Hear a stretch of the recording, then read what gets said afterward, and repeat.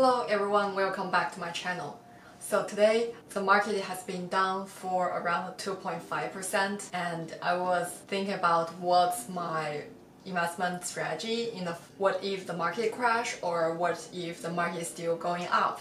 So today I'm thinking about investing in S&P 500 uh, the ticker symbol is SPY. I did some research about the ETF and uh, here are some reasons that I think ETF would be a good investment for now. If you guys are interested at, in SPY, please keep watching. So today's stock market dropped probably because the increasing number of new coronavirus cases like higher rate of hospitality and newer cases in some southern states like Texas, Florida, and Arizona.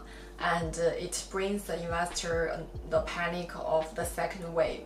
And I also trying to look at MACD and RSI on the weekly chart to see that whether the assets are flow in or flow out the market. So from this uh, weekly chart, I can see that there's more uh, flowing and for the RSI, the recent level is around uh, 49.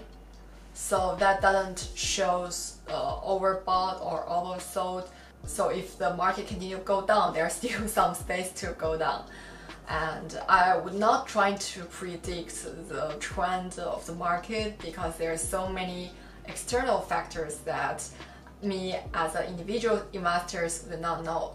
But um, there are some some thoughts I, I want to bring out and share with you guys. So one of the thoughts is that even though there would be a market crash or re recession, the stock price will finally going up. I get this idea from the Berkshire Hathaway annual meeting. Warren Buffett has mentioned in the annual shareholder meeting of Berkshire Hathaway that in the past 100 years, the trend of the stock market in January is going up no matter uh, whether we have encountered the previous pandemic like the Spanish flu or we encountered some uh, wars like uh, World War II that is very controversial and uh, have a bad impact to the economy and society. But no matter what situation, the stock market is still going up in the past 100 years. So at this point, I'm not and Warren Buffett has also recommended individual investors to in invest in, in ETF, which has an average 10% yearly return. Compare a lot of mutual funds, which cannot beat the ETF. So I would have the confidence to the SPY in terms of growth in the long term. And another reason is uh, two months ago, Ray Dalio has had an interview. He has explained his ideas about paradigm shift, which means the wealth shift has already happening silently from one part of the industry to another part. For example, maybe to the traditional uh, manufacturing industry to the current tech industry. So that's also the reason why the index is going up, even though the economy is looks not so good. So that makes me thinking about like the reason of the SPY 500 is going up is because of the uh, big tech companies like FANG. But I'm also concerning the price level of these companies already very high and I don't want to buy at a high price even for those good companies. In that case, I think SPY may be one of the choice because it includes the best 500 companies in, in each industry so it can diversify the risk.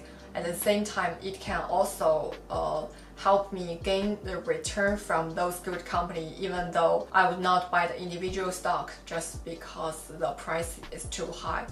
So since the second wave of pandemic seems just appeared like two days ago, the daily added new case seems like more than 40,000, which is the most single day cases increasing so far. For that reason, I'm not sure how the market is going to react to that. So I want to wait for one more week to see if the market drops like 10%.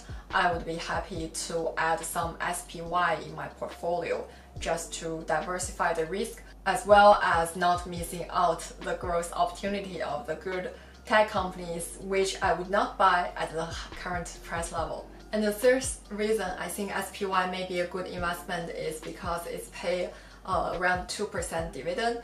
Although the dividend is not the highest, as long as it's sustainable, it would be a good for dividend reinvestment according to Warren Buffett's snowball effect if all the dividend is getting reinvested, it's gonna get the compound interest effect, and that would be benefit in the long term. In like for like 60 years, that would be make a huge difference. Yeah, so that's all my uh, thoughts today. I'm still learning the technical indicators from this book. If you guys have any other recommended resources to learn the technical trading skills, uh, please let me know. Although I'm focusing on the long term, I think it will be always good to know whether the current is a good timing to buy. So that's all my thoughts today. Thank you guys for watching and I will see you in my next one. Bye!